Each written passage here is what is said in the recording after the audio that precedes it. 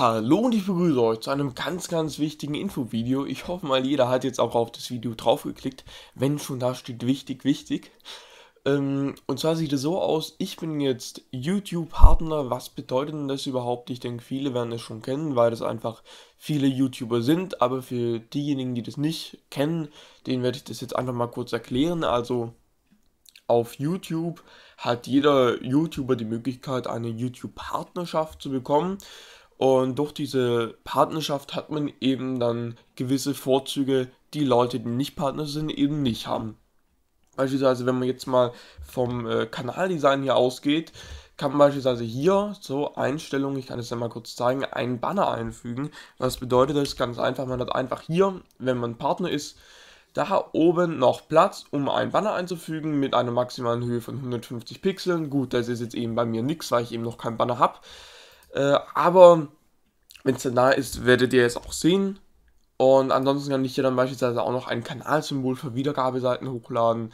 Äh, sowas seht ihr dann, wenn ihr beispielsweise ein Video von mir anguckt, seht ihr oben über dem Video eben so ein kleines Icon, wenn ich da eines drin habe. Muss ich auch noch machen, also ich muss dann auch ziemlich viel machen. Was hat man sonst noch alles für Vorzüge als YouTube-Partner? Ähm, wie man hier schon schön sehen kann, kann man eigene Thumbnails einfach als, ja, wie soll ich sagen, Vorschau nehmen, also sprich, man kann ja eigene Bilder reinsetzen, damit es auch einfach viel schöner aussieht. Tut mir leid, aber ich finde sowas hier sieht einfach schöner aus, wie wenn ich einfach irgendein random Bild habe, das im Video ausgewählt wurde. Und ja, ansonsten kann man dann eben als YouTube-Partner auch noch Geld verdienen. Ja, ihr habt richtig gehört, viele werden sich jetzt an den Kopf fassen und werden sagen, um Gottes Willen, Hulk, mit so Videos wie du machst, verdienst du auch noch Geld. Ich glaube, du bist lebensmüde, aber nee, es ist wirklich so, äh, damit kann man Geld verdienen. Wie geht das Ganze? es wird einfach Werbung vor das Video geschaltet und ja, natürlich heißt es jetzt also jedes Mal, wenn ihr ein Video von mir anklickt, läuft erstmal für 5 Sekunden oder so, also ich weiß nicht, wie lange das geht, Werbung. Aber für Leute, die die Werbung nicht sehen wollen, die können sich ganz einfach einen Adblocker holen äh, für ihren Browser dann. Und ich denke, wer heutzutage keinen Adblocker verwendet, der ist eh wirklich ein ganz, ganz armes Schwein, denn heutzutage wird wirklich alles durch Werbung im Internet finanziert. Und deswegen ist ein Adblocker wirklich fast schon Pflicht. Wenn ihr den nicht installiert habt, dann bitte macht's, bitte macht's, sonst werdet ihr nur so mit Werbung überhäuft. Nicht nur auf YouTube, generell auf jeder Seite gibt es Werbung zum Abkratzen. Also das ist in der heutigen Zeit wirklich schon zu empfehlen. Und dann gibt es auch noch eine ganz geile Sache, die man als Partner hat. Man kann nämlich die Videos zu einem bestimmten Zeitpunkt veröffentlichen lassen. Jetzt werden sich viele sagen, ja, warum braucht man das? Man kann ja einfach so ein Video mal hochladen und fertig. Ja, der Witz ist aber, wenn ich jetzt beispielsweise ein Video um 1 Uhr nachts hochlade, dann wird natürlich das Video bei euch auf der YouTube-Startseite, also, Moment, warum was, also hier auf der YouTube-Startseite, wird dann natürlich bei euch auch erst um 1 Uhr angezeigt. Das bedeutet, wenn, wenn jetzt um 15 Uhr das heimkommt und ich habe jetzt um 1 Uhr nachts ein Video hochgeladen, dann werdet ihr das Video von mir erst ganz weit unten finden weil ich natürlich erst dann vor 15 Stunden oder sowas hochgeladen habe. Ne, 14 Stunden sind es, ja. Kopfrechnen muss man auch noch können. Und jetzt was kann ich ihm jetzt als YouTube-Partner machen? Ich kann es ja mal kurz zeigen. Und zwar gestern war es beispielsweise der Fall. Und zwar, da war ich den ganzen Tag nicht daheim. Und da konnte ich das Ganze nämlich dann gleich mal ausprobieren.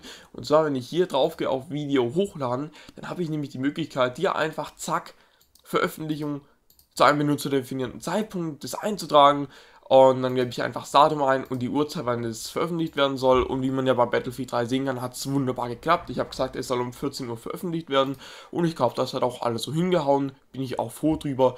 Und das sind eben so Sachen, wenn ich dann beispielsweise mal im Urlaub bin oder wenn ich mal weg bin für eine gewisse Zeit, dann kann ich einfach schon im Vorfeld sagen, okay, ich lade Videos hoch und die werden euch dann ganz einfach zu dem und dem Zeitpunkt freigeschaltet. Na, auf jeden Fall ist das natürlich eine ganz tolle Sache und auch unter der Woche habe ich ja mittwochs jetzt oftmals kein Video hochgeladen, weil ich da einfach bis um halb acht jeden Tag weg bin, äh, also mittwochs. Und das kann sich natürlich jetzt auch ändern, wenn ich jetzt lustig bin, kann ich einfach sagen, okay, Leute, mittwochs kommt ein Video, zack, da habt ihr was Feines, hat er sich Battlefield 3, Darkness 2, irgendwas halt, irgendein Video. Und das kann man eben jetzt alles machen, finde ich eine richtig, richtig geile Sache aber man hat auch noch andere Vorteile als YouTube-Partner. Beispielsweise sieht es bald so aus, dass man über YouTube auch Livestreams machen kann. Und zwar haben diese Funktion schon einige Leute. Und so wie es aussieht, werden also jetzt die Leute, die bei TGN sind, also TGN, das ist jetzt mein Partnernetzwerk. Übrigens auch mal Hallo an alle TGN-Leute da draußen, die sich das Video eh nicht angucken werden. Also, da werden wir jetzt auch bald die Möglichkeit haben, über YouTube Livestreams zu machen. Das bedeutet, ihr müsst nicht unbedingt jetzt hier unbedingt auf Own3D oder auf Twitch.tv. Nein, ihr könnt gleich hier über YouTube den Livestream angucken. Und das ist doch auch was Feines. Finde ich zumindest. Äh, das sind eben jetzt so Sachen, die werden jetzt alle auch noch im Laufe der Zeit dazukommen. Aber man hat auch noch so kleine geheime Vorzüge als YouTube-Partner, wenn ich das mal so sagen kann. Und zwar sieht es bei dem neuen YouTube-Kanaldesign jetzt so aus, dass oftmals, äh, Moment, war es hier auf der, Leute, wollt ihr mich verarschen jetzt? Startseite kommt, YouTube, macht hinne. Also, es kann oft mal sein, dass hier auf der Startseite nur Videos von YouTube-Partnern kommen oder vermehrt Videos von YouTube-Partnern, aber nicht die Videos von Nicht-YouTube-Partnern. Das bedeutet, YouTube sagt einfach, so, wir zeigen euch hier nur die Videos von YouTube-Partnern, dass ihr da draufklickt und die Videos von Nicht-YouTube-Partnern, die werden nicht angezeigt. Also das kommt seitdem, seitdem das neue Kanaldesign draußen ist, oftmals vor, was ich persönlich eine Riesenschweinerei finde, weil man kann nicht einfach die Videos von den Leuten nicht anzeigen, nur weil es eine Partner sind. Also ich finde, das geht mal gar nicht. Und das ist eben in letzter Zeit vermehrt bei den Leuten vorgekommen, dass dann einfach die Videos von den Nicht-Partnern nicht angezeigt wurden. Finde ich eine Schweinerei, aber ihr seht, das sind so geheime Vorteile, die eben jetzt auch die Partner haben. Äh, finde ich natürlich jetzt nicht gerechtfertigt, finde ich auch nicht in Ordnung, aber ich wollte jetzt nur mal sagen, dass die Leute es auch wissen. Und ansonsten äh, werde ich jetzt eben auch in der Suche, ich sag mal, bevorzugt. Das bedeutet, wenn jetzt beispielsweise hier irgendein Let's Play von mir eingibt, dann werde ich da, weil ich Partner bin, bevorzugt und wahrscheinlich vor vielen Nicht-Partnern kommen. Ja, nicht vor allen, aber vor vielen. Denn wenn natürlich jetzt jemand, was er sich 20 Millionen Aufrufe mit einem Video hat, ist es klar, dass ich da mit 10 oder 1000 Aufrufen nicht vor dem bin. Das sollte klar sein, aber das ähm, jetzt auch nur mal so als kleines Zwischending, also das wollte ich euch nur mal sagen. Für euch verändert sich eigentlich nichts. Ich werde weiterhin einfach äh, schön äh, jeden Tag ein Video hochladen. Auf die Infovideos werde ich selbstverständlich ähm, keine Werbung draufschalten, also damit werde ich kein Geld verdienen. Und das soll ja wohl klar sein, dass wenn ich wichtig, wichtig reinschreibe, dass ich dann damit äh, kein Geld verdienen möchte, indem ich da einfach Werbung davor schalte. Nee, vor die Infovideos kommt keine Werbung, nur eben vor Videos, wo es eben dann auch ein bisschen was zu sehen gibt, ne? Weil ich denke, hier, das ist ja gerade nichts, wo man hier sehen kann. Und ja, und dann noch eine Frage an euch, und zwar, was sieht denn eurer Meinung nach schöner aus? Momentan sieht es ja so aus, da heißt immer der Titel, was weiß ich, Let's Play the Darkness 2, dann eben die Nummer und dann German Blind PC. Und jetzt, was findet ihr schöner? Sowas mit ähm, eine eckige Klammer, eckige Klammer und nochmal die Plattform in einer normalen Klammer also alles verklammert sozusagen. Oder findet ihr es schöner, wenn ich einfach sage, ich mache eine große Klammer mit einfach einem Slash dazwischen.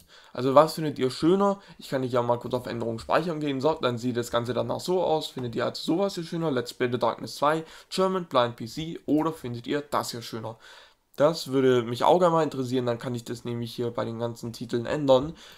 Äh, weil ich weiß halt nicht, wie ich es jetzt machen soll, ob so oder so keine Ahnung, was besser aussieht. Wäre nicht schlecht, wenn ihr mir das sagt, weil ich bin da so zwischendrin und sage, ach, beides ist ja eigentlich nicht schlecht. Deswegen möchte ich auch gerne mal eure Meinung dazu hören. Und was gibt es sonst noch zu sagen? Ja, ein neues Kanaldesign und auch ein neues Intro muss her. Und zwar definitiv, denn das sollte ja eigentlich schon seit langer Zeit kommen. Aber jetzt, wo ich äh, Partner bin, ist es definitiv, das ist jetzt auf jeden Fall ein ganz großes Ding. Wenn ihr jemanden kennt, der gute Kanaldesigns und Intros machen kann, dann wäre das wirklich ähm, ganz lieb. Äh, dann wäre es toll, wenn ihr das in die Kommentare schreibt oder mir eine private Nachricht schickt mit dem Namen von demjenigen, der das macht. Dann kann ich mich nämlich ja mit dem in äh, Verbindung setzen.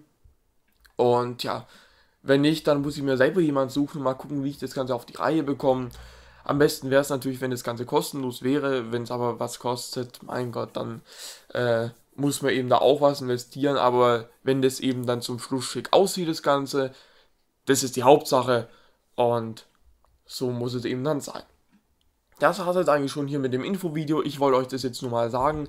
Ähm, größtenteils habe ich jetzt auch überall hier schon die eigenen Thumbnails drin.